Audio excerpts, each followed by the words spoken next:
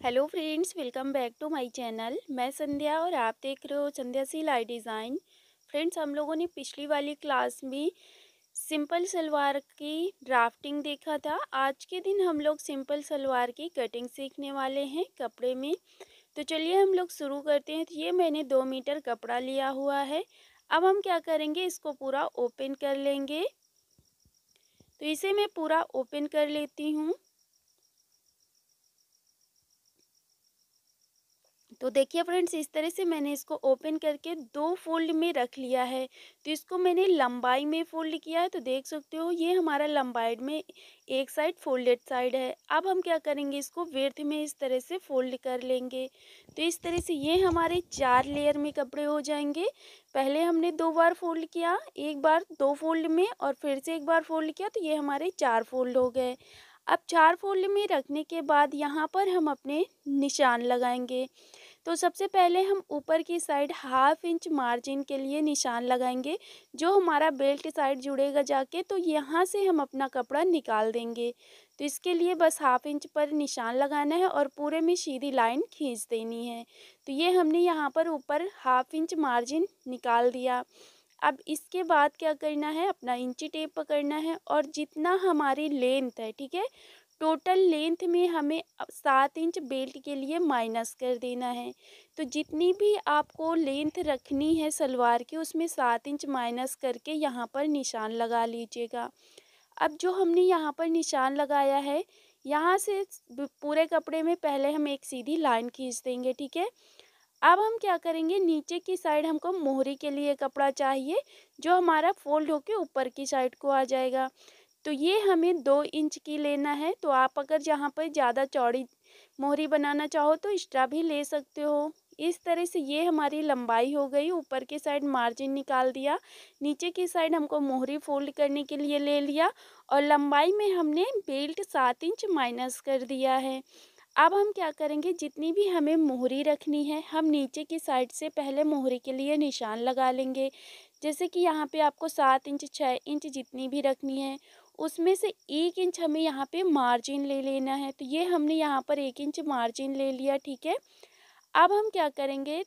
इधर साइड, जो हमारा ओपन साइड है, यहाँ पर हम अपने आसन का निशान लगाएँगे। तो जितना भी हमारा आसन है, यानी कि हमको यहाँ पर अपने हिप का तीसरा भाग करके यहाँ पे एक इंच प्लस करके लेना है। तो यहाँ पर जितना भी आ रहा है, उसमें से ऊपर की साइड बेल्ट हमारी जितनी जुड़ेगी सात इंच की। तो सात इंच ऊपर के लिए माइनस करने के बाद यहाँ पे निशान लगाना है। तो ये मैंने निशान लगाया हुआ है नौ इंच पर, ठीक है? आप भी यहाँ पे नॉर्मल सलवार पे नौ इंच पर आसन यहाँ पे हो जाता है। तो आप अगर नौ इंच पे लगाओगे तो आपका सलवार ख़राब नहीं होगा। अब हमको अंदर की साइड दो इंच पर निशान लगाना है। और जो हमने दो इंच अंदर की साइड निशान लगाया हो, ऊपर तक एक लाइन हम खींच देंगे पूरे में। तो इस तरह से ये हमने यहाँ पर लाइन खींच दिया। अब हम हाफ़ इंच का निशान लगाते हुए यहाँ पे पूरे में गुलाई कर लेंगे। तो इस तरह से ये हमने यहाँ पे पूरे में गुलाई कर लिया है, ठीक है? ये हमारा आसन कंप्लीट हो गया है। अब हम यही कोने से बिल्कुल नीचे तक जो हमारा मोहरी का निशान है। वहाँ तक इस तरह से तिरछी लाइन खींच देंगे। तो इस तरह से इंची टेप से रखने के बाद निशान लगा लेना है हल्के हल्के से, फिर पटरी की सहायता से लाइन सीधी कर देनी है, यानी कि तिरछी में ही सीधी करना है। अब हम क्या करेंगे, इसको बिल्कुल साइड से कटिंग कर लेंगे, जिस तरह से हमने यहाँ पे निशान लगाया हुआ है। तो बस इसे हम कट कर लेते हैं। तो इस तरह से ये हमारी पूरी कटिंग कंप्लीट हो गई है फ्रेंड्स। अब हम क्या करेंगे, ऊपर के साइड जो हमारा फोल्डेड साइड है, इसे भी हमें ओपन कर लेना है। यानी कि यहाँ पे हमें बिल्कुल पतला कपड़ा कट करके निकाल देना है। तो देखिए, इस तरह से ये हमारी पूरी कटिंग कंप्लीट हो गई है। अब हम इसको साइड में रखते हैं, सबसे पहले हम अपनी बेल्ट की कटिंग कर लेंगे। तो बेल्ट की कटिंग करने के लिए जो हमारा साइड से कपड़ा निकला हुआ था, उसी को हम पहले जोड़ लेंगे। तो क्या करेंगे, इसको इस तरह से औरे में रखेंगे। यहाँ पर औरे में देखो, आप अगर चाहते तो पहले भी बेल्ट निकाल सकते हो, उसमें क्या होता कि घेर कम आता। लेकिन यहाँ पे इस तरह से घेर ज़्यादा आ जाएगा और आपका कपड़ा भी वेस्ट नहीं होगा। बेल्ट हमारी वैसे भी ज़्यादा दिखाई नहीं देती है और इतने जॉइंट नहीं लगेंगे, सिर्फ़ दो ही जॉइंट लगेंगे। तो इस तरह से ये हमने यहाँ पे जॉइंट लगा लिया है, साइड से कपड़ा कट कर लिया है। अब कट करने के बाद देखो यहाँ पर हमको इस तरह से बेल्ट कितनी लेनी है, जितनी आपकी कमर है। कमर को हमको चार इंच लूजिंग लेके उसमें एक इंच मार्जिन के लिए ऐड करना है। यानी कि जितनी कमर है, उसमें हमें पाँच इंच ऐड कर लेना है और फिर उसका आधा कर लेना क्योंकि ये हमारे टू फोल्ड में है तो हमने इसको आधा करके फिर इसकी चौड़ाई ली हुई है। और ये लंबाई आपको कितनी रखनी है? सात इंच की बेल्ट हमें तैयार रखना है तो दो इंच मार्जिन के लिए लेना है, सिलाई के लिए बाकी कपड़ा, ठीक है? तो हम यहाँ पे दो इंच ले लिया तो यानी कि ये नौ इंच पर निशान लगाया। तो फ्रेंड्स, अब हम उसी निशान के ऊपर से इसे कट कर लेंगे। तो इस तरह से ये हमारी बेल्ट की कटिंग हो गई है और ये हमारी कलियों की कटिंग हो गई है। अब हम क्या करेंगे, अपने बेल्ट को साइड में रखेंगे, अब हम सिलाई भी इसी वीडियो में सीखेंगे। तो बेल्ट को हम साइड में रखते हैं, सबसे पहले हम अपनी कलियाँ जोड़ेंगे तो कलियों में सबसे पहले हमें अपना आसन जोड़ना है। तो इसको हमने इस तरह से रखा, रखने के बाद इसको ऐसे पूरा ओपन कर लेना है। अब हम क्या करेंगे, इनको दोनों को ऐसे रखेंगे। रखने के बाद देखो, एक हमने, ये जो हमारा कपड़ा है ना, ये हमारा सीधा उल्टा साइड है और अंदर की साइड सीधा साइड है। तो इसी तरह से वो वाला पैर, वाला भी रखा हुआ है, ठीक है? अब हम क्या करेंगे, इसको उल्टे साइड को हमारा मार्जिन आना चाहिए। हमने ये आसन पकड़ा एक कली का और सेम इसी तरह से दूसरे कली का आसन पकड़ना है। पकड़ने के बाद यहाँ पे हमें सिलाई लगा लेना है। तो इस तरह से ये हमने पकड़ा। पकड़ने के बाद हाफ़ इंच की मार्जिन देते हुए यहाँ पे पूरे में सिलाई लगाना है। जब ये सिलाई लग जाए तो सेम इसी तरह से दूसरे वाले आसन को भी पकड़ना है और यहाँ पे सिलाई लगा लेना है। तो ध्यान रहे कि हमारा जो मार्जिन है वो दोनों का उल्टे साइड में आए, ठीक है? सीधे साइड में नहीं जाए तो बस अब हमने इस तरह से सिलाई लगा लिया है, ये भी सिलाई लग चुकी है। तो इस तरह से ये हमारा दोनों पैर का सलवार जुड़ चुका है। अब इसको जोड़ने के बाद यहाँ पे हम अपनी बेल्ट जोड़ेंगे। तो बेल्ट जोड़ने के लिए सबसे पहले हम अपनी बेल्ट को तैयार करेंगे। तो तैयार करने के लिए क्या करेंगे? पहले तो हमें यहाँ पर बीच में से जॉइंट लगाना होगा। तो यहाँ पे हम बीच में जॉइंट लगा लेते हैं, जो हमारा अलग अलग कपड़ा है। तो हम क्या करेंगे? एक पार्ट को ऊपर की साइड को रखेंगे सीधा, यानी कि दोनों का मार्जिन उल्टे साइड में आए। इस तरह से हमको रखना है। रखने के बाद हाफ़ इंच मार्जिन लेते हुए यहाँ पे सिलाई लगा लेना है तो ये मैंने सिलाई लगा लिया है। अब हम क्या करेंगे, इसको इस तरह से पूरा ओपन रखेंगे। रखने के बाद अब हम इसको फिर से यहाँ पे सिलाई लगाएँगे। तो गुलाई पे सिलाई लगाएँगे। ध्यान रहे कि मार्जिन हमें उल्टे साइड को ही करना है। अब हमने ये सिलाई लगा लिया है। अब इसको पूरा ओपन करेंगे। ओपन करने के बाद देखो यहाँ पे डबल सिलाई लगानी है, ठीक है? मैंने डबल सिलाई लगा लिया है। अब हम क्या करेंगे, यहाँ पे इसको साइड साइड को कपड़े कर देंगे दोनों को और यहाँ पे ऊपर से सिलाई लगा लेंगे। तो ये हमने यहाँ पे सिलाई लगा लिया है। अब इतनी सिलाई लगाने के बाद क्या करेंगे, इसको पूरा ऐसे उल्टा साइड को रखेंगे, ठीक है? अब रखने के बाद देखो, इसको इस तरह से हमको यहाँ पे फोल्ड करना है। ऊपर की साइड जो हमारा नारा पड़ता है या लास्टिक पड़ती है, जो भी डालना हो आपको तो यहाँ पे हम इस तरह से फोल्ड करेंगे। फोल्ड करने के बाद पूरे गोलाई में ऐसे ही हमें सिलाई लगा लेना है। तो ये हमें उल्टा साइड को फोल्ड करना है, ठीक है? सीधे साइड को हम नहीं फोल्ड करेंगे, उल्टे साइड को फोल्ड करेंगे। ये हमने यहाँ पे फोल्ड करके सिलाई लगा लिया है, ये हमारा सीधा साइड है। अब हम क्या करेंगे, इनके दोनों के जो हमारे सेंटर नहीं, हमको इधर साइड वाले सेंटर निकालना है तो इस तरह से दोनों को फोल्ड करके कट लगा लेना है। तो इससे क्या होगा, हमें चुन्नट डालने में, प्लेट्स जुटा लेंगे तो वहाँ पे आराम रहेगा, समझ में अच्छे से आएगा। अब देखो इसको हमने इस तरह से रखा, जो हमारा इधर का कपड़ा है, हम यहाँ पर प्लेट डालेंगे और इधर वाली इसमें प्लेट डालेंगे तो हम बीच में प्लेट नहीं डालेंगे, सिर्फ़ साइड साइड में प्लेट डालेंगे।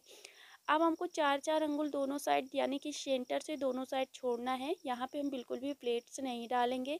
अब हमने अपनी कली ले ली है, जो हमने आसन है, हमारा बिल्कुल सेंटर पर होना चाहिए। इस तरह से रखने के बाद दोनों साइड हमें चार चार अंगुल कपड़ा छोड़ते हुए यहाँ पे पूरे में सिलाई लगाना है। तो बस इतने में मैं सिलाई लगा लेती हूँ, फिर प्लेट्स किस तरह से डालते हैं वो देखते हैं। अब हमको इतना इतने में प्लेट हम नहीं डालेंगे, ठीक है? अब देखो, यहाँ पे जो हमारा बिल्कुल सेंटर है, इसका सेंटर सलवार का, जो हमारी कली वाली सेंटर है और प्लेट वाला सेंटर है, जो हमने कट लगाया था पहले ही। तो इनको इस तरह से पकड़ना है। पकड़ने के बाद अब इतना कपड़ा जो बचा है, ये पूरा इतने में ही एडजस्ट करना है। तो यहाँ पे हम उतनी प्लेट डालेंगे जितने में यहाँ पे हमारे एडजस्ट हो जाए तो बस सारी प्लेट्स सेम बराबर के कपड़े में ही डालना है। एक प्लेट जितनी चौड़ी डालेंगे, उतनी ही सारी प्लेट चौड़ी डालेंगे, ठीक है? तो इस तरह से ये हमने इसको और जो प्लेट हम डाल रहे हैं, इसको हम अपनी साइड को घुमा के डाल रहे हैं। अभी देख पा रहे हो आप वीडियो पे, इस तरह से हमने इसको डाला और फिर से इसी तरह से डालना है। तो एक पैर की प्लेट्स हम सेम इसी तरह से डालेंगे, जिस तरह से हम डाल रहे हैं। तो अब हम क्या करेंगे, पूरे में ही इसी तरह से प्लेट्स डाल लेते हैं एक पैर में। और पीछे की साइड भी हमें चार अंगुल या पाँच अंगुल इस तरह से आपको प्लेट उतने में नहीं डालना है। तो आगे पीछे हम प्लेट्स नहीं डालेंगे क्योंकि ये हमारा दो मीटर में कप सलवार बन रहा है। तो पूरे में प्लेट्स नहीं आएँगे, साइड में डालेंगे तो देखने में पहनने के बाद अच्छा लगेगा। अब हमने इस तरह से ये प्लेट्स डाल लिया, ये पीछे साइड आ गए तो हम पीछे साइड नहीं डाल रहे हैं। अब हमने एक पैर का तो कंप्लीट कर दिया है, अब दूसरे पैर में आ गए हैं। तो अब हम क्या करेंगे? प्लेट हम इधर को डाल रहे थे, अब हम इस प्लेट को दूसरे साइड को डालेंगे।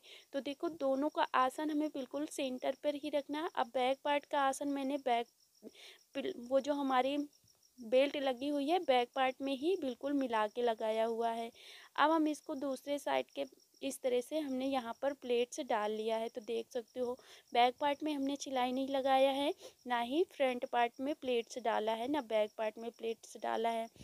अब हम क्या करेंगे, इसको इस तरह से रखेंगे। रखने के बाद ये जो हमारा मार्जिन है, इसको हम ऊपर की साइड को रखेंगे, ठीक है? और सीधे साइड से हम यहाँ पर ऊपर से एक सिलाई लगा देंगे, जिससे कि हमें ये सिलाई लगाने के बाद हमारे शलवार में फिनिशिंग अच्छी आती है और देखने में सुंदर लगता है। तो फ्रेंड्स, इस तरह से ये हमने यहाँ पर कंप्लीट कर लिया। अब इसके बाद नीचे की साइड मोहरी कंप्लीट करनी है सबसे पहले। तो मोहरी के लिए ये मैंने डेढ़ इंच की पट्टी कट किया हुआ है और ये हमको चौड़ाई में जो हमारी है तो ये हमारी चौदह इंच या पंद्रह इंच की है, ठीक है? तो ये आपको अपने अकॉर्डिंग लेना है, जितनी भी चौड़ाई रखनी है आपको अपने मोहरी की, ठीक है? तो हम इस तरह से ये ले लिया और लेने के बाद फिर से इसको इस तरह से अंदर की साइड को फोल्ड किया और फोल्ड करने के बाद यहाँ पे सिलाई लगा लेनी है। तो आप सीधी सिलाई लगा सकते हो या फिर आप तिरछी जो हमारी डिज़ाइन वाली सिलाई होती है वो भी लगा सकते हो। तो इस तरह से ये हमारा नीचे का मोहरी कंप्लीट हो गया। अब जैसे हमने इस पैर की मोहरी कंप्लीट किया, सेम उसी तरह से दूसरे पैर की भी मोहरी हमने कंप्लीट कर लिया है। अब हम क्या करेंगे? इनको इस तरह से पकड़ेंगे। पकड़ने के बाद क्या करेंगे? जितनी भी हमको यहाँ पे मोहरी रखनी है, निशान लगा लेना है तो जैसे मुझे सात इंच पर रखनी है तो सेम सात इंच पर हमें दोनों पे निशान लगाना है बिल्कुल बराबर से, जिससे कि हमारी मोहरी दोनों की बराबर आए। हमने इस तरह से निशान लगाया। निशान लगाने के बाद अब हम क्या करेंगे? यहाँ पे इसको बिल्कुल बराबर से मिलाते हुए सिलाई लगाएँगे। तो बस अब हम पूरे फिटिंग में सिलाई लगा लेंगे, जो नीचे साइड का हमारा सिलाई है। तो बस इस तरह से यहाँ पे हम सिलाई लगा लेते हैं। तो ध्यान रहे, ये वाली सिलाई जो हम लगाएँगे, अच्छे से पहले हमें जब भी हम शुरुआत करते हैं तो सिलाई को अच्छे से लॉक कर देते हैं और ये सिलाई हम डबल सिलाई लगाएँगे। पहले एक बार लगा देंगे, फिर से दोबारा से लगा देंगे, जिससे कि हमारी ये सिलाई खुले नहीं। तो इस तरह से ये हमने यहाँ पर सिलाई लगा के सलवार को कंप्लीट कर लिया है फ्रेंड्स। आई होप आपको समझ में आया होगा। तो फ्रेंड्स, इस तरह से हमें अपना सलवार कंप्लीट करना होता है। समझ में आया है तो प्लीज़ वीडियो को लाइक, शेयर एंड चैनल को सब्सक्राइब कर लेना। मिलते हैं हम लोग नेक्स्ट क्लास में। तब तक के लिए बाय बाय